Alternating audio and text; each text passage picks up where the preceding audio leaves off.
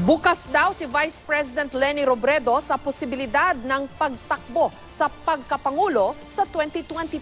Ayon kay Robredo, lahat ay posible pero hindi pa raw niya ito pinaghahandaan sa ngayon.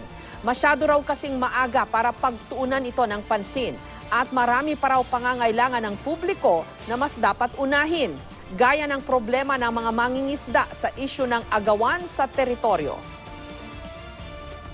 Ako hindi ko naman plinano kahit ano eh. Tingin ko kasi yung presidency, ano yun, destiny. Ah, kahit anong paghahanda mo, kung hindi yun para sa iyo, hindi yun.